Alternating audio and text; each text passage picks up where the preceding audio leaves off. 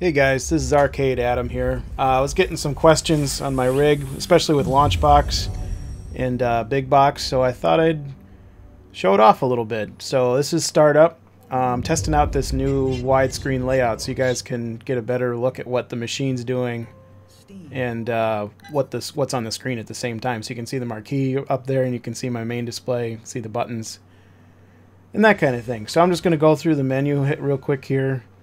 Um, got this is my Steam library, which is mostly Steam games, but uh, some of them are not from Steam, and it's just my catch-all for anything that's not a you know emulated arcade game. So any Windows-based game that I can throw in there, I, I toss in this library. Oh, that don't. Um, yeah, we'll talk about that one later. That's uh, that's interesting. Anyway, uh, let me move down the list here. This is a game I thought you guys might like uh, especially those who like the Beachhead games. I found this one the other day. Uh, I didn't have time to make a uh, LED map for it or anything. I didn't really even map the buttons very well either. It's just trackball and uh, left mouse click. So you'll see me move over to the trackball here when we get into some gameplay. But uh, it's pretty cool. The graphics are intense. Um, it's actually an older game. It came out in 2016, it looks like. Um, but it's a really cool update to the Beachhead games, I thought, and it's you know it's the exact same gameplay. And I want to say it was under ten dollars on Steam, so it was a good pickup. Um, you know, so here's you go. Hey, look at the graphics; it's pretty good.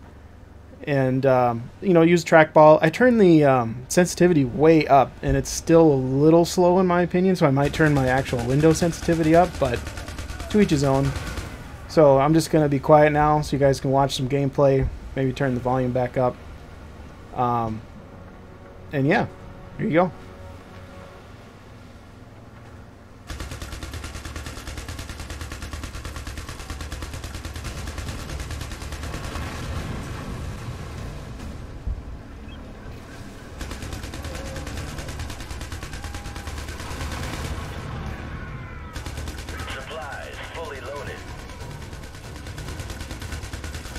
Don't judge on the uh, skill set here. I'm still figuring this game out. This is like the third time I've actually opened it and played it, so I think um, pretty soon here I'm going to get overwhelmed. Oh yeah, throw a couple rockets at him. I don't know why, but these simple games just get me. I don't, I don't like to play complex stuff on my arcade. I'll, I'll do that on my gaming rig and sit down and you know hunker down and have fun with that. But uh, on my arcade, just give me the simple stuff every time. I'll get lost in Tetris, Pac-Man, stuff like this. You know it is.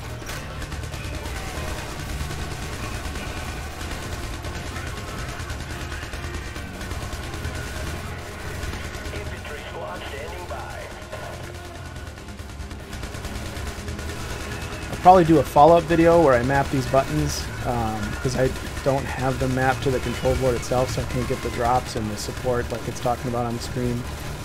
And I'll get those mapped with LED blinking so it looks right. And uh, in the future, I will do another follow-up video on LED blinking and, and uh, how it's configured. Oh boy, yep, that was it for me.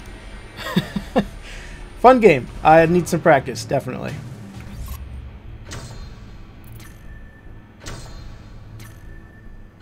And that's about it. Let me know if you guys have any questions. I'll do some more videos on Launchbox maybe. Um, I'm sure you guys have heard me preach about this uh, application over Hyperspin because Hyperspin's fine. It's Rocket Launcher that drives me crazy, but that's another subject. Thanks. Thanks for watching.